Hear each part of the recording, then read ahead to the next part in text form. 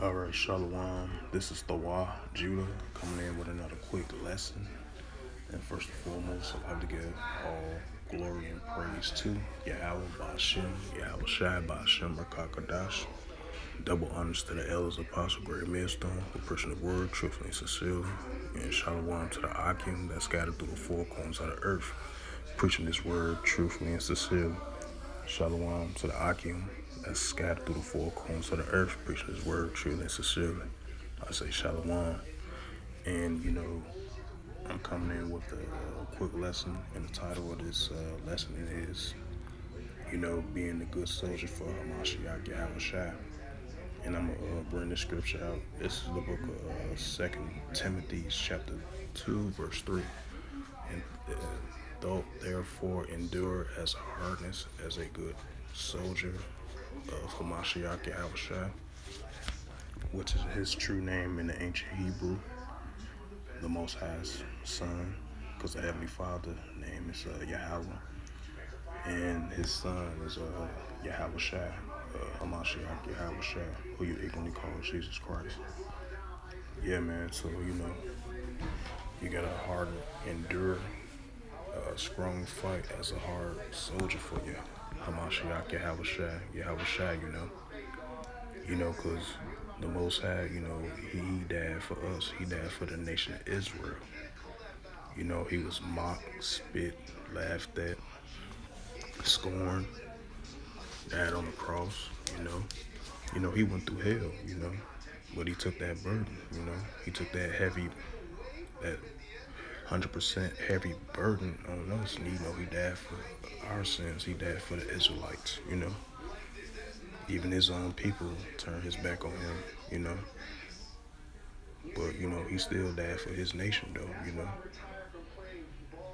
So, you know, we definitely got to consider that, you know, and think about that. So, you know, I think about that all the time, too, and definitely in the humble, in the humble way, you know through uh, through the spirit and through the flesh as well too.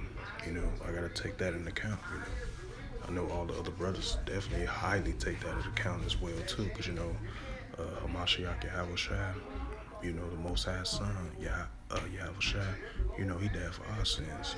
He died for the lost sheep of the house of Israel. You know. Now, you know, we're, we're gonna go through that same plight like he went through. You know in order to get to the kingdom. You know, it's not going to be an easy cakewalk, you know.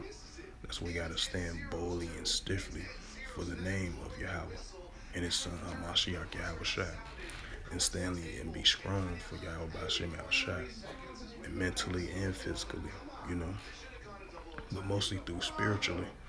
You know, we got to be definitely be spiritually strong for Mashiach Yahawashi.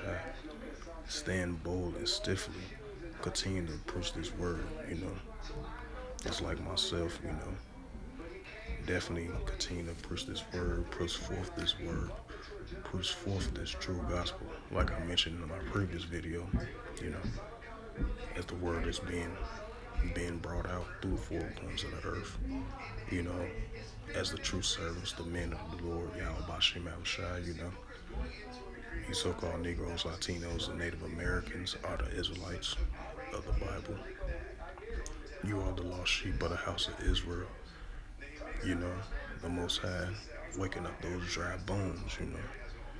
But you know, uh, two thirds of uh, Most High's people still gonna be blind to the truth, if not what's really going on, you know, in the world.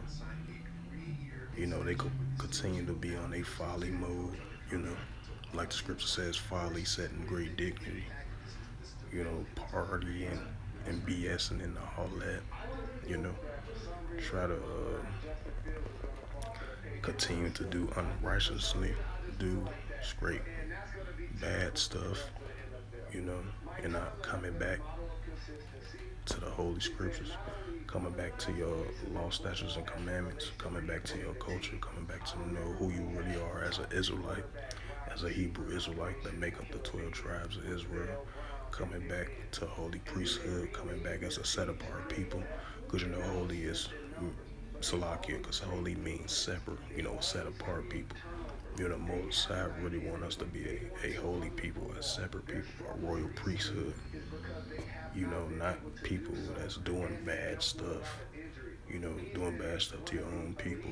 You know, going crazy stuff. You know, the Most High didn't set us like that to be like that. You know, He set us to be a uh, a holy people, a righteous people. You know, but I'm getting back to the topic because uh, I'm gonna bring it out again. This is the book of Second Timothy, chapter two, verse three. Therefore, Salaki, thus therefore endure a hardness as a good soldier of Hamashiach Yahushua. You know, as I said before, and I'm gonna say it again. You know, continue to push forth to be a, a good soldier of Hamashiach Yahushua. As I continue to practice and learn and understand more, you know, fight these spirits, fight this evil flesh. Even though, even though the flesh, the flesh is weak, but we continue to push forth this word, continue to be on the highways and byways, continue to learn more, continue to learn more through these scriptures, continue to learn through our, uh, our high holy days, our customs, the, our language, you know, as the Most High giving us our culture, our history, you know, our language and all that back, you know, etc. So, you know, as you continue as being in this truth as the men of the Lord, you know, the true prophets, the servants, the men of the Lord, as I, as you know, as you get this opportunity and humbleness and meekness to the brotherhood, to the elders, apostles, and the brotherhood and the elders in our camp, you know, be that that brotherly love, you know, respect one another, you know. I'm definitely continuing to do that as well too, for sure, because you know, uh, you definitely gonna need that in these latter days, you know, because you know uh, the Most High people, you know, hopefully they can be woken up, you know, because a lot of things is going on in the world today, so you're definitely gonna need this wisdom, knowledge, and understanding. And if you have that opportunity, meekness and humbleness, you know, as the men of the Lord, preaching His word, truthfully and sincerely, week in and week out, to prophesying against Mount Seir, Babylon, and, and the world as well, too. Because, you know, the men of the Lord, they ready for this. They ready for the new kingdom to be established. The kingdom of Israel. Yasharala. He is the prince of the power. You know what I'm saying? The, which is the men of the Lord, the princes, the princes of, of the Heavenly Father, and his son Hamashiach Yahushua, the kings and priests of the Most High, like it's supposed to be, you know. And once the house of David is definitely getting established, it's getting fully established, like the elder Malcolm was saying in his video you know, because you definitely got to endure hardness as a good soldier of Hamashiach Yahushua. As I continue to learn that too. Fight these evil spirits. Fight this flesh. Fight off that old man. Fight off that weak man. And fight for the new man. You know, fight for the new body. Fight for positive positivity. You know, fight for a righteous man, fight for a holy mind, you know. So uh, I'm gonna bring it out once again because I, you know, love the scripture. I know all the Akim love scripture as well too. I'm not just the only one. Salaki. This is the book of Second Timothy, chapter two, verse three. Thou therefore endure hardness as a good soldier of Hamashiach Yahushua. You know, endure of what's coming. Endure what you're going through. Highly endure of all these evil forces and evil spirits and all that negativity, you know, block that out. Bring it in with positivity, you know, in the mind, in the spirit, and in the flesh as well, too. So, with that, I hope this was edifying. I'll give uh, all praises and glory and double honors too to Yahweh, Bashem, Yahawashi, Bashem, Kakadash. Double honors to the elders, apostles, Great Millstone, who preaching the word and sincerely.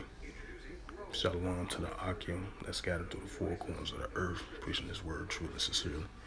And Shalom to the Akim that scattered through the four corners of the earth that be like unto the speckled bird, preaching this word faithfully, truthfully, and sincerely. And with that, I say Shalom.